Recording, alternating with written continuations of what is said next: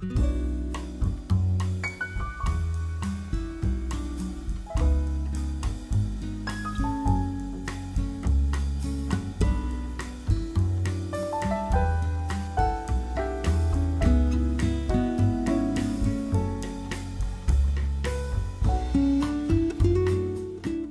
most chaotic and cluttered spot in our homes are linen closets.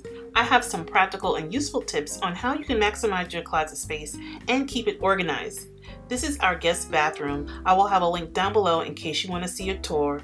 And inside this bathroom, we have a nice sized closet. It's narrow, deep, but it has so much potential for storing those little extras we all accumulate. So I want to share some easy ways to organize your linen closets.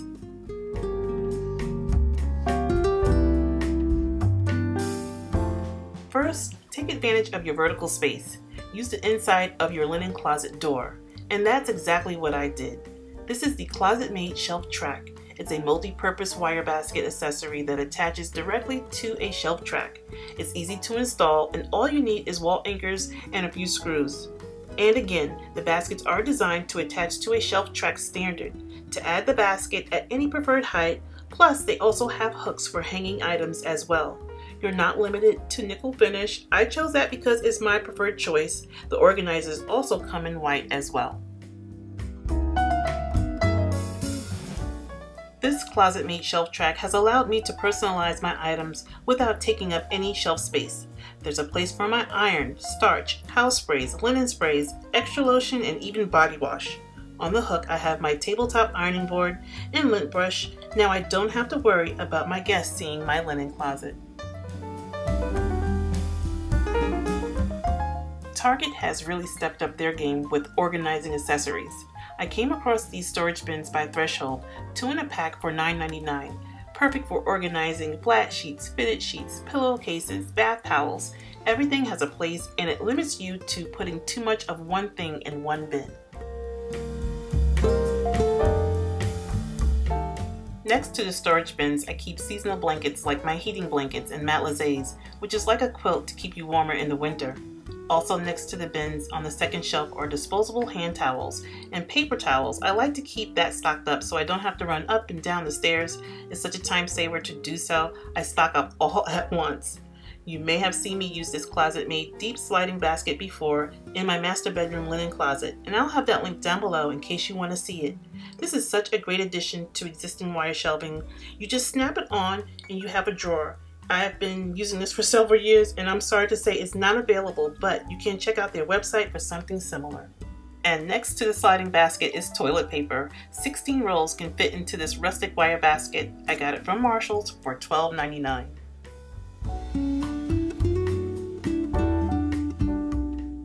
I shared how I got this ClosetMaid drawer kit with wire baskets from the flea market for $10.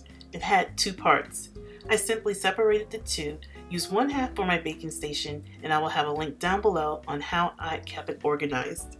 Because KitchenAid mixes weigh a ton, I leave it on top of the cart and wheel it out of my pantry when I need to use it. Inside the baskets is all set up with all of my baking essentials and so far this has been working out really great for me. The other half I'm using to store a lot of my linen closet essentials all in one spot and it's taking up hardly any space. In the same area where I found the storage bins, I also came across this stackable three drawer organizer slide out drawer for $50. These slide out drawers are great for storing fabrics and crafts. I'm using mine to store a few items I use often. Let's take a peek inside. At the Dollar Tree, they have sweater storage bags, two in one pack. It's not the best quality, but it will do for what I'm using them for. I'm placing guest bed sheets inside them to keep them fresh. I typically do not keep sheets on our guest beds. I wash them, I press them, and then I place fabric softener sheets inside the bag. This way, when I know guests are coming, that's one less chore to do. I cannot live without my labeler. This one is by Brother. It's the PTH100 and labeling items just makes it easier for me and everyone else to find things. Inside the top drawer is where I keep guest sheets and as you can see they're ready to go when I need them.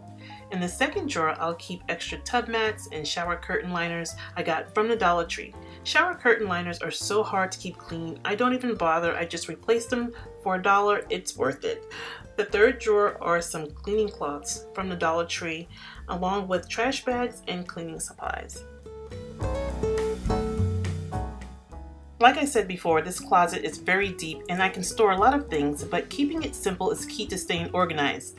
I'm still using a command hook to keep my steamer mop in the corner. Beside the slider baskets, I repurposed this hanging rack to hang my duster, cleaning gloves, this mini vac, and it's easy to get to and it's out of the way. So I hope you guys can use some of these tips and ideas for your linen closet. It has certainly done the job for me. You guys can follow me on Instagram at Be My Guest with Denise, and you can also sign up for email alerts on my blog at BeMyGuestWithDenise.com. I share tips and ideas and inspiration, so feel free to follow me, and I want to thank you all for watching.